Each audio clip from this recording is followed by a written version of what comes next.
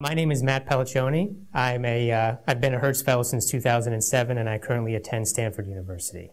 I currently work on mesoscopic physics, which is the transition between microscopics, atomic-sized effects, and macroscopics, things you can see with your naked eye.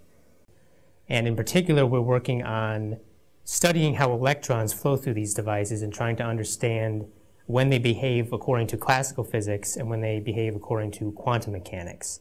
And in this regime, um, these two effects are crossing over, and it's not clear um, yet uh, exactly what effects are dominant when.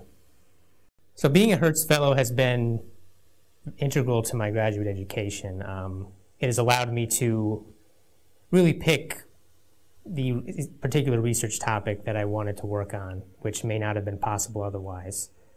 And I feel it fosters a very nice sense of community that I feel will um, persist through my entire professional career.